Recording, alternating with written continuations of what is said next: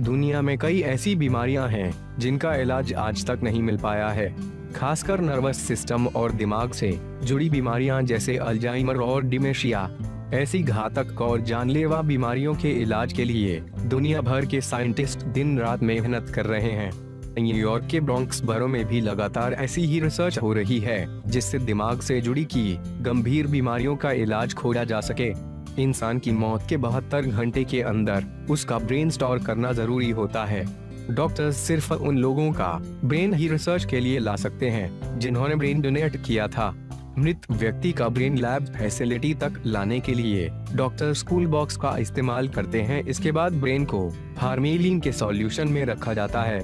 Research के लिए brain के पार्ट्स को अलग अलग हिस्सों में काटा जाता है। इसे प्रक्रिया को डिसेक्शन कहते हैं।